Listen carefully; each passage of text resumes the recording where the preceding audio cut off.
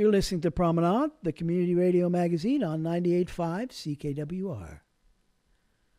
Promenade began as a project of the Commons Studio, originally known as the Multicultural Cinema Club.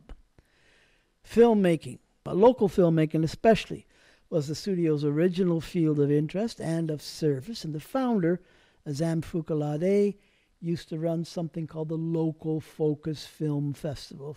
That's one of the reasons why we're really glad to see the KW Film Festival, with its emphasis on local regional film production, returning to Waterloo. Daniel McLeod is the prime moving force here. I'll let him tell you about what's happening. This conversation took place over Zoom on Sunday afternoon. Daniel McLeod, welcome to Promenade. Thank you very much. Thank you for having me. Daniel, I was really pleased to see the notices go up about the 2021 edition of the Kitchener Waterloo Film Festival. The last time I think that there was an uh, was when I was still writing my column, and I remember calling you up and, and writing about it and all that. It's great to see it back, and I thought we could connect and you could tell our listeners about what the project is to begin with, and also what you are adjusting to the circumstances of the, the COVID era for this year. Well, it's great to connect with you again about this. I actually have that article that you wrote about it uh, last time framed in my office. I was just looking at it.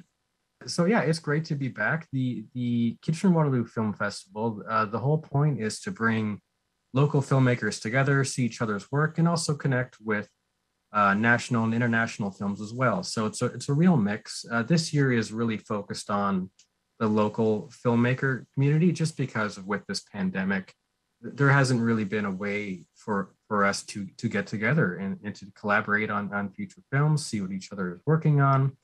So in order to do that this year, especially during a pandemic, and I, I know I really didn't want to do a virtual festival. I thought, well, hey, let's do it outside. Let's do a drive-in and uh, and all the proceeds this year are going towards um, our local cinema, the Princess Cinema, because I know they were hit really hard uh, with the with the pandemic, and we want to keep indie cinema alive. So I thought this would be a great way to kind of bring a lot of a lot of people together for a good cause.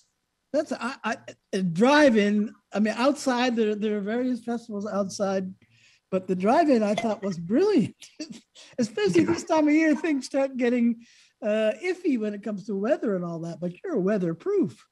Absolutely. Uh, we hope so, at least. It's a, a, gigantic inflatable screen, but they've assured me it's it's well tied down. It's not going anywhere, rain or shine.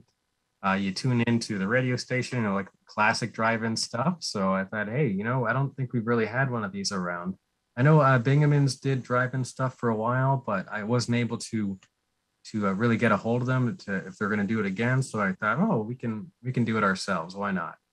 And is the princess supplying the screen? I know they have a rental operation with that. Yeah, their uh, rental operation is run by uh, Jacob Tutt, uh, son of John. He works out of the Playhouse Cinema in Hamilton, so I, am renting from him. Uh, so all the proceeds are, are going towards that family, strong advocates for for in indie, indie cinema and theater and uh, I just I think it's really important to do everything we can to keep people like that in business, and so they can continue to show show our work and keep that uh, creative spirit and community alive. Yes, John Tutt was on our program uh, in the summer uh, and talked about some of the ways they've been trying to get weather the the all the challenges, etc. And they've been so generous. I mean, one of the reasons I'm interested in KW uh, film festival is that it kind of carries on from what the Multicultural Cinema Club used to do when Azam was here with the local focus film festival.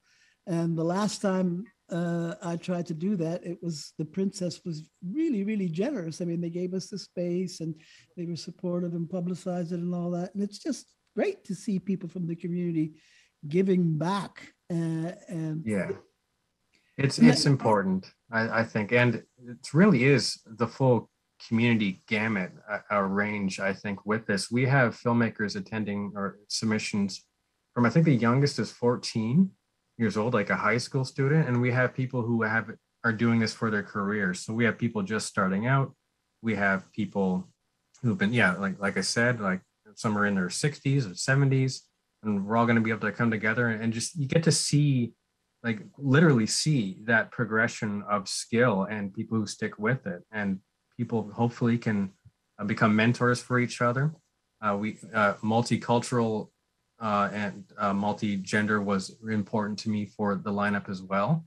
Uh, one of the first films we're going to be screening is stories from Landback Camp, which Aboriginal filmmakers, and it's just the, the, the variety of stories that you get from from all these different cultures coming together that we can all share. I think is is really going to appeal to to a large audience. It, it it's important, I think, and it's gonna it's gonna be a good time and these kinds of programs are great because it's just such a variety. There's all kinds of things, and it's people that are in our community making these things, and you see exactly. familiar landmarks, etc. People you know, uh, but you don't know what's going to come next, uh, depending on how you set it up. But it can be a real uh, uh variety. It's just fascinating what, what the kind of things people come up with.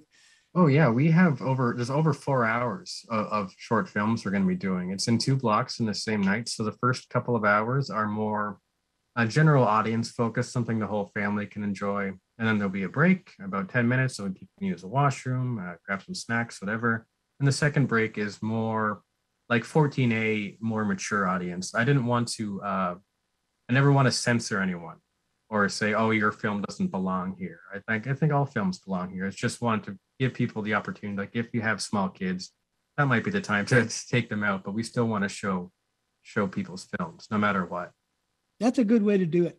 Absolutely, and people can sit through the whole thing and have a yeah really immerse themselves in a, a festival or go to one or the other. Exactly. And I also saw people can bring their own food if they like, but there's also yeah. going to be snacks, etc., available. Yes, uh, at the moment we're working with uh, our screen vendor um, to set up a page for pre-ordering snacks. So I think those will be coming from uh, the Princess.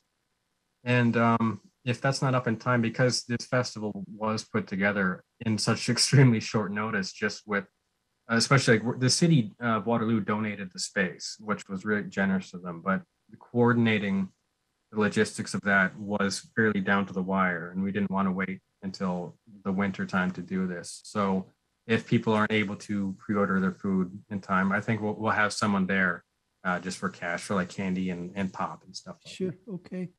And it's up in uh, off Dutton Drive, right? By the 404. That's a 404 lot, I think it's called. Yeah, it's a 510 Dutton Drive.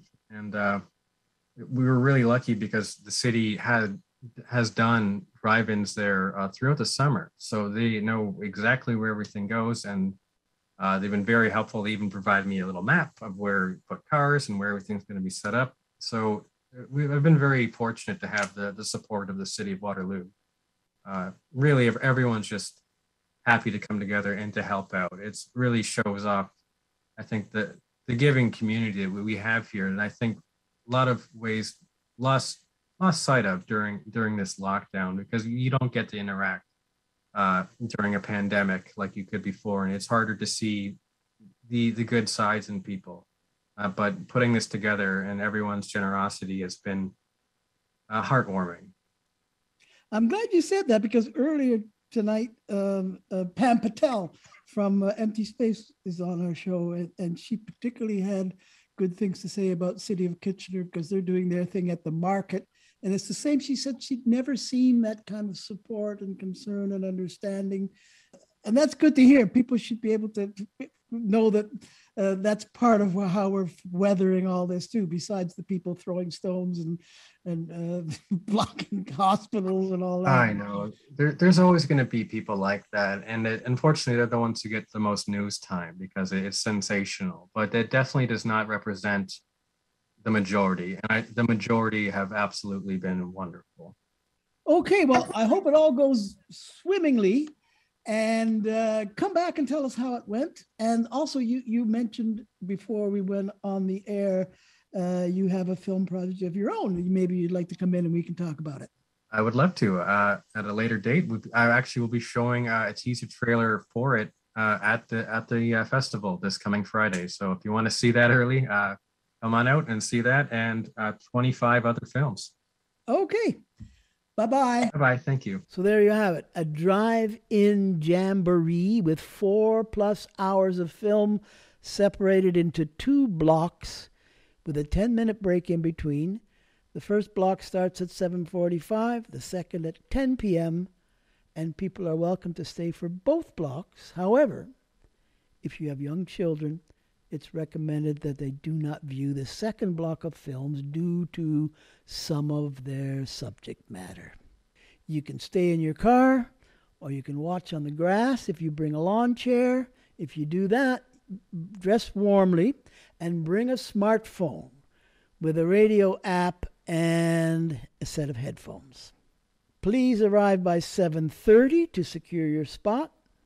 Uh, you can bring your own food and drink as well, but popcorn, snacks, drinks, etc., can be pre ordered. And all proceeds go directly to supporting the Princess Cinema.